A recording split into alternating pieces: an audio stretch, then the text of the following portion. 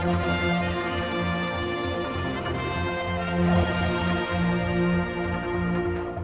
hello again, and uh, we're back, yes, on the subject of Dr. Ranson.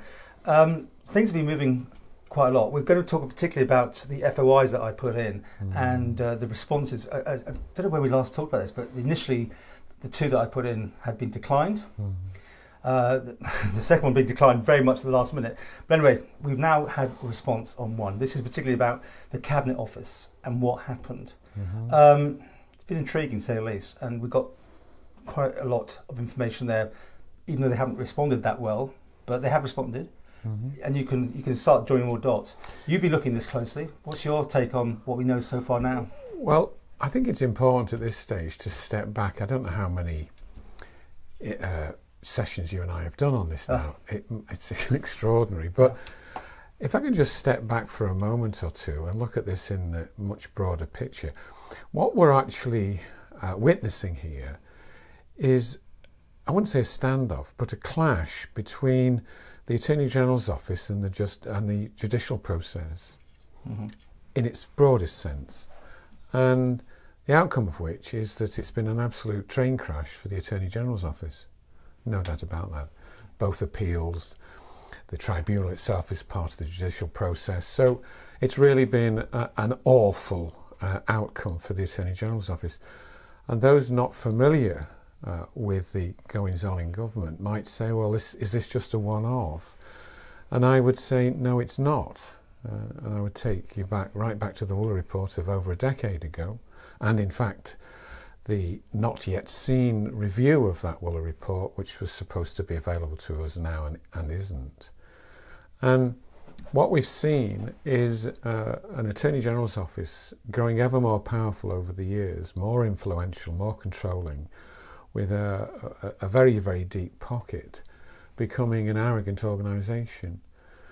And why it's come out now is simply not because of COVID, but because per se, but because somebody at last has stood up and said, I stand by my position and I'm going to see this right the way through and managed to get uh, support from the BMA such that they were able to see the whole process through on many occasions where people, as it were, fall foul of government, employees, etc., others outside, that sort of money isn't available. So, this case that you and I have spent so much time on uh, is shining a light on what's wrong with the way the Attorney General's office works and the interaction between the Attorney General's office and the political process. That's, that's it in, its broadest position. If we can now turn to the, the FOI response in particular. Right at the start, that's the second appeal. Mm-hmm. And you remember, though, looking back for a second again, you and I said very clearly after the tribunal produced its original um, deliveries, its original decisions, that we said it would be stupid. We used those words stupid um, in the extreme to go to appeal because the outcome from the tribunal was so clearly cut in favour of Rosalind Ranson that it, it, would, it would be madness to go to appeal, and yet they went to appeal. Mm-hmm. And so you've got to ask yourself the question how can, how can the AG's office be so stupid when they're full of intelligent people? Well, the answer to that, I think, is they are used to being able to overuse their powers and have become arrogant and complacent. And that's now inculcated into the system, the way they operate, the way they advise departments, the way they advise CoMin, and the way they advise Tynwald. So that they, they arrived on the scene, as it were, not ready uh, or even understanding what they were up against. And they were up against somebody who was going to stand up against them. Let, us remember in that second appeal, they handed over to uh, Callin Wild, I think about two or three days before the appeals being heard. So they took over responsibilities for the government's side of things. So they shouldn't have been involved after that. But you have to remember that uh, no, they, the AG's department gives information. They sit in on CoMin, don't they? You remember that? Yeah, yeah, yeah. They're, they're, part of that. So every time that Rosalind Ranson came up, shouldn't from there onwards the AGs excuse themselves if, if, if they haven't already from any recuse themselves. Yeah, because surely they Well, could be they- conflicted, couldn't they? Well, they are they are the, all and everything to everybody, and have adopted a culture and attitude uh, accordingly. But um, with re- specific regard to the second appeal, you've got to remember that it was the Attorney General's office that lodged that second appeal Mhm. with the courts, and then a matter of days later, I, don't, I think it, I think they lodged it on the fourth of August, and by the tenth, Mhm. they'd stepped back and said, "Well, we're conflicted." The right thing to do at that stage would have been to say, "Well, actually." Our lodgement of this with the courts, bearing in mind we're conflicted, should be withdrawn, but it, it, it wasn't. Uh, Well, we had that strange situation actually at that second appeal, where even Callin Wild, their lawyers said, "We're not sure what we're, we're Well- doing," which almost seems quite strange because they were there obviously to do a job. But Mm. I'm understanding that their their recommendation was let's not go Okay. to second appeal. So Am I let's- jumping ahead here too much for? Let, us take it sort of methodically if we can. So, the the uh, this stupid second appeal was lodged by a conflicted body, the Attorney General's office. It wasn't subsequently withdrawn. The the responsibility for representing the DHSC in this matter then fell to Callin Wild. Coming to your point, that when it came to the appeal itself, they stood up and said, Well, we're not sure why we're here. So just bear that in mind, if you would, Paul, when we come back to the sequence of events surrounding the essence of your, your FOI report. Uh, uh, sorry, response, I beg your pardon. So the, the matter relating to the Council of Ministers and the DHS's submission to them started on the 27th of September, if you recall. So on the 27th of September, the DHSC, uh, as it were, went to the Council of Ministers under the auspices of a paper saying, we don't know exactly what was said there, but we, we can reasonably assume that it was saying, well, which way should we go on this one? That's, that's the position. Now, you then put yourself in the Chief Minister's shoes here. He got that request from the DHSC on the evening of the 27th. I think it was about a quarter to six or something. So at the end of the working day. He was being asked by DHSC and effectively his brand new minister straight into the role a matter of days before. I think it? it was totally on day five when he had to, had So- to or had not to, to so, sign that. Uh, a brand a brand new minister, Yeah. brand new in the job, into a, a complex situation, reaching out to the Council of Ministers for advice, but then the chief minister finds himself in a ignominious position because he can't place that paper before the Council of Ministers because the Council of Ministers didn't sit till the Thursday. Mm-hmm. But the appeal had to be finalised and lodged with its skeleton argument by, I think, four o'clock on the Wednesday. So I would put it to you that the, at that stage, the Chief Minister's sort of locked into a very difficult position. Brand new Minister, big question to answer, no opportunity to do it in the way that perhaps he would have liked to have done. Mm-hmm. And bearing in mind that in normal circumstances it would have gone to the Council of Ministers and legal advice would, back to your point again, legal advice would have been offered by the Attorney General's office. So how on earth does the Chief Minister at that point find himself in a satisfactory position to give calm and cool advice to his new minister? You say advice because he's not allowed to actually rule it. It wasn't an instruction or It- it- direction. I know uh, the wording was very carefully. It was Yeah. just it was uh, Yeah. advice. Let's use that yeah, word. Um, guidance. guidance seemed better. Gu- But this is from the chief minister, who Right. should be not really be involved in this at all. no, so that's another thing. But as chief minister, he must be very aware of the fact that he's got a brand new minister. So, where does he get his legal advice from at that stage? Now, we've got legal professional privilege here in the sense that we don't know what Callin Wild said to the department DHSC in terms of that submitted paper. Well, I understand to try and get around that. I understand from what I've seen in documents that it, was they were going for the let's just get on with things. That's how I understand it. Hence, hence their response when they got into the actual court to say Wait- we're not wait- quite sure. Wait a minute. What do you mean? Let's get on with things. In other words, to forget the second appeal. Well, I, You know, I, that- I don't. I haven't. I haven't seen, and that's that advice from uh, Callin Wild to DHSC is privileged, and one has to respect that. But if you then scroll forward to the appeal itself, when they said we don't know why we're, We're here, here. Yeah. that would correlate, would it not, for, in a rational mind, to suggesting that Callin Wild were not in favour. We can only surmise. But let's make that assumption okay. because did Callin Wild um, on the 27th in the paper on the 27th of September, Tuesday the 27th, say, oh no, go ahead with the appeal, only to say a short time later on this, is it the 6th of October? Well, we don't know why we're here. So rationally, you can, you can assume that the that Callin Wild were uh, careful, I would guess, about yeah, the, the advice. We're trading as carefully as we can here, by the way. Right. I hope I haven't overstepped okay. any marks, but we, we, we are in a minefield of legalities to some degree. Well, we can talk extent. about things that FOI have been. And, well, the, the, the, the, first appeal, the second appeal, the tribunal are over and done with. All that's left now is the matter of uh, remedy, right. which which we're not touching can, on here. I need to just remind let, Hang on, let, let, me just come back to where the Chief Minister found himself okay. on the evening of Tuesday, the 27th. Brand new Minister, serious advice needed, no opportunity to do it. Mm. So rather than say I can't advise, and again, I'm only trying to read into this what a reasonable person might think happened rather than turn around to the new minister and say, I can't give you advice, he, according to the FOI response, gathered the uh, chief secretary, um, his deputy chief minister, and himself together to try to decide what guidance might be provided. And now I really get concerned because the only legal advice available to the Chief Minister on whether this appeal should go ahead or not is one of his own ministers who is a, a trained solicitor.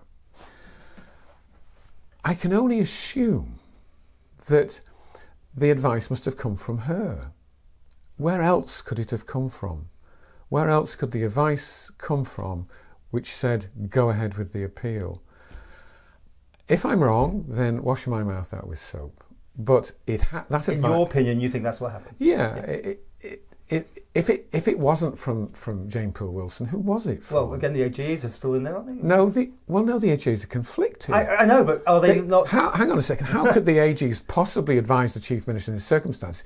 Because they were the body that originally submitted the appeal to the court and then stepped back and said we're conflicted. Okay. They could have gone for independent legal advice. We don't know about that potentially they could have gone to another law lawyers firm, advocates. Well, but yes. We don't know. Well, well we don't, do they? We I mean, maybe that would have been helpful if it had been in the response but to the FOI. You're, getting there to the timeline of this whole proceedings here, I'm, guessing. Yeah, well, it doesn't I mean, quite seem. Well, I, I am concerned well, about Jane Poole Wilson's advice, if I'm right. Um, okay. And then and again, that's, that's supposition on my supposition. part. And that is, if you look at Jane Poole Wilson's history, as I understand it, and again, she can correct me if I'm wrong, is that she spent quite a significant amount of time as an in house corporate uh, solicitor advising the corporation uh, with regard to their interest in a range of areas.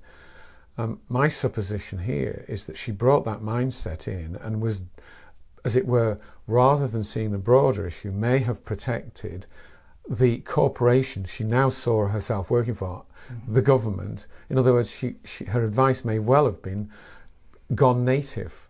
And that's my I mean, position this, on this. leaves the question, though: Why are the council ministers getting involved in this? This is an event well, between DHSC and a, a, private individual as such, or was an ex-member, you know, staff member. Well, the, why well, is it? Why is it in, interested well, the whole council I, of ministers to such a high level? Because because the chief minister had lost at that particular moment his previous DHSC minister Hooper, mm-hmm. who remember misbehaved. He laughed in the in the tribunal when he was asked to give evidence. Do you remember he, that? He saw got uh, telling off that, didn't he? Yes, and and subsequently. Uh, shrugged his shoulders about the whole affair on the basis, well, it's just an employment matter and nothing to do with me. I mean, how dare he have said that? Because if you sc- again scroll right back, um, he was involved in the Constitution, Legal and Justice Committee with me and Jane Poole Wilson and we considered and studied the, the oversized, overpowerful AG's department. Both Jane and, and uh, uh, Laurie Hooper were fully aware of the overburdening, overpowerful position of the AG's department.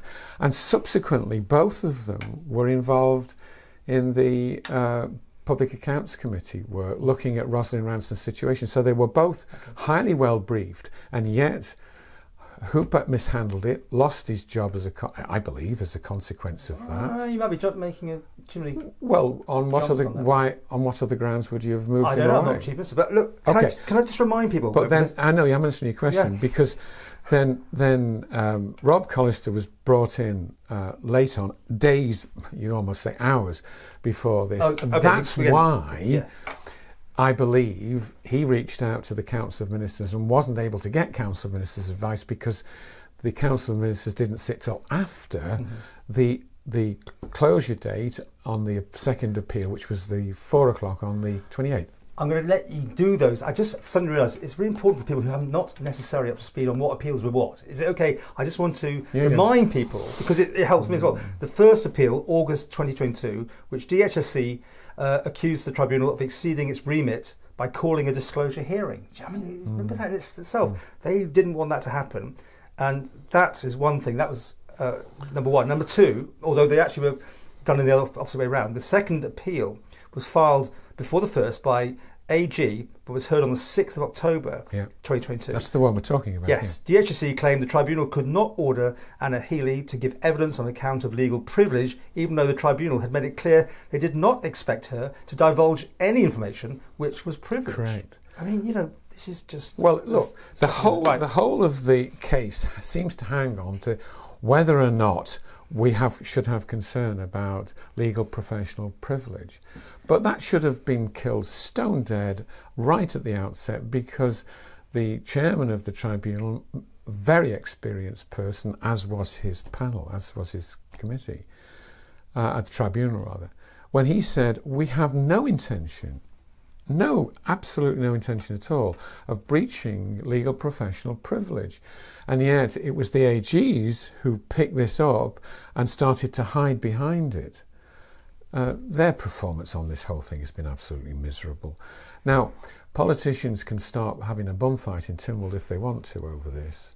But in reality, if they don't look at the story behind this, if they don't pick up the Wooler report, if they don't reach out and say what on earth is, is happening with the review of the Wooler report, if they don't examine clearly the misbehaviour of the Attorney General's office, then the Attorney General's office will quietly sit back and watch politicians arguing amongst themselves, you know, trying to kick all sorts out of each other. I think, on- I think we're at a tipping point, though. I really do believe, and, and especially with your sort of knowledge and determination to bring this out, I think I think there's this a has few been worried going on for me a long I know, time. there's a few. Anyway, look, let's get down to the actual day itself and the actual. We're going at four o'clock.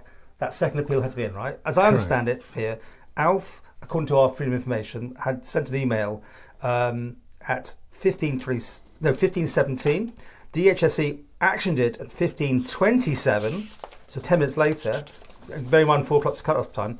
And Minister Collister only afterwards apparently saw what was going on, and uh, I believe there was one at fifteen thirty-five, um, which basically I think, from my, if I'm absolutely reading this right, and I think I am, um, Mr. Collister would have actually gone along with it. He didn't want to, I don't think, but I think he was going to play team member. Well, I don't know. I can only surmise, and I'm going from information that I can't disclose sources from.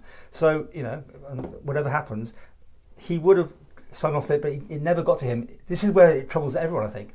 It was signed off, not that it wasn't by the chief minister because he can't sign it off, but someone in a department passed it to Callin Wild to say go for the second appeal. This is before four o'clock on that day, which is incredible Well, the if you think about it, because that means there's some rogue things going on here, or at best you could say it was ill-advised or by an experienced officer who didn't know the, the rules. I mean, I'm trying to be helpful to them, but I don't know. inexperienced minister, incomplete council of ministers, arrogant conduct on the part of the attorney generals. It's it's just and, and a really really ridiculously tight time scale that was involved here, where you you had less than a day, less than a day for the centre to come up with the advice that the minister of DHSC had asked for. I mean, you could honestly, honestly, Paul, you couldn't make this up. Again, it's just why would. Alf Cannon want to be involved at all in this thing? Well, if, I- if it's if it's just as simple as it seems, I mean, it, it- I've answered. it I've begs more no, questions I've, than answers. I've answered that because he will have felt a, a duty and an obligation. I presume. I mean, this is my these Yeah. my suppositions. He would have felt a, a, a, um, a concern for his brand new minister who was thrown into this and trying to find uh, his feet, literally within a matter of hours. Um, so how could he possibly turn away from his minister and say, "No, it's a matter for you. You decide." I mean, it, it's, it beggars belief. But what I think is important, and this is what worries me, in the reply, it says here, uh, please see below the response from the Chief Minister. I'm going to read the Chief Minister's response out. I have read the information provided. That was on the paper, right? Delivered by the department. we don't know who it's gone to do it because it's been redacted. If, well, this is his advice. Where would he send it to? yeah, know, but I'm saying if it is redacted. if if he says if it is the case that future legal advice provided to government departments may not or cannot be heard and under privacy then it is my view that the appeal should proceed on a point of principle so that statement itself is a fair statement but it doesn't relate to this case because there was never any question of legal professional privilege being breached by the tribunal or anybody else, come to that. What it was all about was the AG's department making a complete dog's dinner of the whole of the tribunal because for once they, they're caught out. Hmm. For once somebody stands up to them and they've used all and every trick in their book to try to dodge the bullets. And here the chief minister's left in a position where he hasn't even got the advice of his attorney general. I mean, I don't know. You and I don't know what happened in that meeting between the chief secretary, the deputy chief minister, and the chief minister, but they were in a, a difficult position and came up with absolutely the wrong conclusion because it was self-evident to you and I, very much earlier on than this, as I recall anyway, that the tribunal has said, look, no question here of, of uh, breaching uh, professional legal uh, privilege at all. It wasn't an issue. It was a, forgive the use of the word, it was a concocted IB, idea by the AG's department on the 4th of August that somehow it was. What did the judiciary do? They wiped the floor effectively with the the AG's department. The tri- on two occasions, the tribunal have wiped the floor with the A- if in fact through, with the AG's department in expressing their concerns about the lack of documentation, the late documentation, the very late com- uh, uh, documentation, the possibility of concocted documents. You know, how close can you get to scathing? And no wonder we're in the realm of uh, uh, special damages, in, in consideration of uh, special damages, indicating a, a degree of punishment to government. Now, I hope and I plead with members of Tynwald, stop bum fighting amongst the, yourselves and get to grip, grips once and for all with the totally unacceptable uh, powerful, arrogant, aggressive organisation that is the AG's department. Because remember, it's not just the AG's department the area dealing with departmental stuff. They are the legal advisors of a, shall we say, misuse a, phrase, a, a, huge corporation, the government, oh man, PLC, with yeah. a, with a billion pound uh, expenditure line each mm-hmm. year. AG's department are also responsible for looking at uh, contractual issues between individual companies and the government. If they can't be trusted here, let me say this, they are not to be trusted when it comes to contractual matters between individual companies and government. Goodness me, Tim, we'll get a grip of this once and right. for all. So we all see FOIs and they were turned down because they were claiming privilege. And luckily with my advice I went back and suddenly this, this no. week we get this bit released. No, it was it was I think one of the reasons given was was uh, uh, they were forming policy. Well, they weren't forming. Yeah, but policy. also legal privilege was pushed in there. But anyway, the thing is, they've come back this week after my first, you know, mm. retort. They've come back with something. So a week later, something has come back. But it just is interesting now. Uh, maybe I'm jumping too far ahead. You maybe got more to say, but Claire Christian is, is trying to put some a question down at least for Tynwald and we're recording this on Tuesday, so it's going to be a week from now. By the way, as we record this in the afternoon, we still haven't found the order, the uh, question paper, which is I think unusual to see if it's allowed.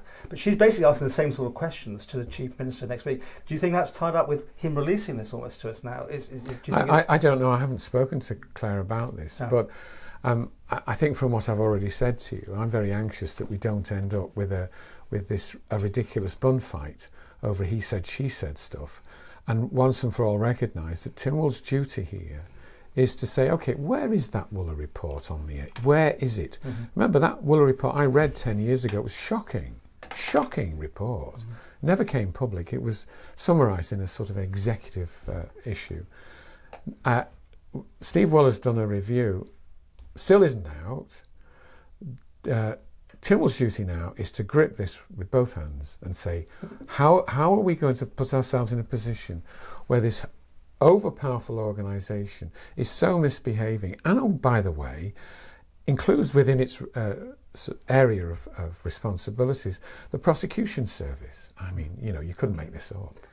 can I go back to Claire Christian because this is Well, I did. I was, I Yeah, but the point is, what her, her- up to she said on Twitter last couple of days that her questions at that stage were being declined. The, the president has said couldn't be done because you know what's going to come next.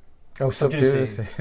So I pointed out to, I mean, I wasn't anyone. I'm, I'm not a legal beal, but obviously certain things are now in the public domain, and you can ask questions as far as I'm aware. But you have to remember that surely the president is getting his advice from, the AGs. Yeah. but they're conflicted, aren't they? Again on this because Well, it's it's a question that could bring them into something. Well, so I mean, you- should they not I- go I- to an independent advice? I mean, maybe they did, maybe they didn't. I don't know. I, I'm just go saying. go back to one of our uh, other uh, series of, of sessions that we've done together on this one, and that, the Expol report. Remember how everything's sub judice until it's not because it suits the AG's department. Remember Mhm. that?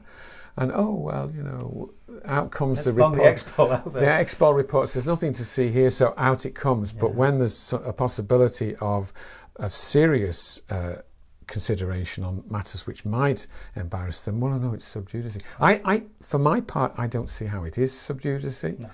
But as you say, the the uh, president is advised by the AG. So this is what could happen on Tuesday. Someone might say that the AG cannot be involved in this particular question because well, that's conflict. what should happen. Yeah, well, maybe this will happen. Maybe I, I'm not saying. Also, Well, no, I think you're right in the sense that that uh, if the AG is AG's advice here is conflicted, and it is, he wanted the but you know, appeal. Wait a minute. Yeah. Okay. The, and, and the president is is in the same sort of dichotomy that the chief minister was that there was nobody there to advise him. My God, how many times can we point at the same problem? Then the president needs to take, as you've just said, advice external from the AG. Because next week there could be that moment when the president has to go, oh, that's sub judice, and where that you know, and and it may not be, but then it may be, but it's just making this thing honest, clear, and transparent, isn't it? Which is what these famous Well- words are saying. Okay, so here's now what I'm hearing. This is this, is, and I cannot back this up in the sense of I've got a piece of paper to say it, but my phone's what been are you going to say? my phone has been like crazy, and, and emails. I'm getting sent stuff, and thank you by the way, because this I, Mm. again this subject I, has not touched anyone as much as it has you and me, and I know um, Claire Christian who's asking the question. She's she's miffed, and that's putting it politely, because this whole thing hasn't added up for a long time, and it's now time for clarity, right? So the chief minister's going to be asked X, Y, and Z. Basically, what I've already asked in that thing, because he's in in Tynwald, he's got privilege, and he could answer to, to some degree some of these things, but there's two ways it's going to go. He will either answer it knowing that Claire's got the sub questions to go, yeah, Mhm. and he doesn't know where they're going to lead to, or and this is what I'm hearing as a potential option that's been considered that he will hold his hands up and say, "I made a mistake," or "We made a mistake," and then you know it shouldn't have happened, which is something, and let's move on. Interesting What thought. shouldn't have happened? Sorry. Well, that he shouldn't have sent the emails and done that, and, and be not been signed off by the right person for that second appeal. Now, Oh, you with me? Mm. So that's what I'm hearing. I mean, by the time you watch this and it's gone next Well, Tuesday, you'll know what's happened. But anyway, mm, It's a, as described in our walk through this. It's a it's a pretty hopeless situation, and comes down to the concept that the AG is all influential, all powerful, and it's got to stop. Remember, go back to something I've said ages ago and many times to, to, to you know to the point of boring people to death. that I've always argued vociferously that members should have independent legal advice. It's crazy that they haven't. And the, the way they misuse the role of um, Solicitor General to ensure the very thing that one, we wanted didn't happen was just disgraceful. So this is a long-running saga started that started more than 10 years ago and here we are it it bursting out like a, a devil incarnate it's it's awful but members of Tynwald look at what you need to look at and don't get overexcited about the, the issue of the moment. This is a really, really serious matter. I've had more reaction to this since my COVID, um, you know, Q and A things. You know, people coming up mm. to me. Have you had that response? People are interested in this, are they? Well, uh, or are we just talking to ourselves and no one's, no one's bothered? No, that's not happening. I, I probably had more feedback on this than I did when it was an MHK. oh, really? Oh, really? I oh mean, it, it, I can hardly go to the shops which, without somebody saying. Which shows that it has to be dealt with. This is not going to go away, is it? This, well, is, this is not going to play well. Again, I keep saying that thing, but it, it can be sorted. Yeah, why, why, would it? Why would it? Apart from the things that I've discussed about mm. the ages, why would it start to come, as it were, to, to the surface in such a? Um, what, what was it? Claudius, Emperor Claudius said.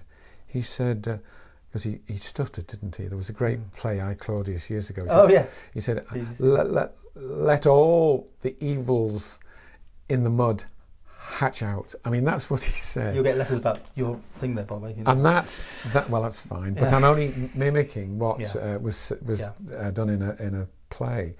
But that's what we're getting now. That these things have got to be dealt with, and, and they haven't been. Uh, and I, I feel uh, sort of a sympathy for everybody now getting dragged down by this because we're in such a, a messy situation born out of the issues that we've raised. Yeah. Well, you know, just doing those things, I did those three, that three parted, just me reading to camera from advice. Yeah, yeah. Well done. It, it, just kind of, as you read it, you're going, oh my goodness, oh my goodness. So many things that just don't make sense or don't to us anyway. And as you said, it, it, it looks like it's protecting the powerful. It, it seems well, to me pa- the powerful being here, the corporate body, which is because it's more than one, but the corporate body, the government, over powerful, still growing, mm. getting more expensive, having this sort of monopoly of, of legal advice control with no opportunity for members to, to question. And a lot of members come in, as it were, and I use this phrase uh, kind, in a kindly way, ignorant of a lot of these issues and they have to learn them, which is why we set up the Constitutional Legal and Justice Committee. And what's disappointing here is both that uh, Lawrie Hooper and, and Claire um, and uh, Jane Poole Wilson were both on that committee with me and know the weaknesses inherent in this and seem blithely willing to, to ignore them. I, I don't get it. Okay, well, obviously, we'll see now Tuesday. Uh, Tynwald sitting. As, as I speak, we still haven't got the, the actual question paper up there, but uh, time will tell. Thanks again, and we'll, mm. we'll keep going.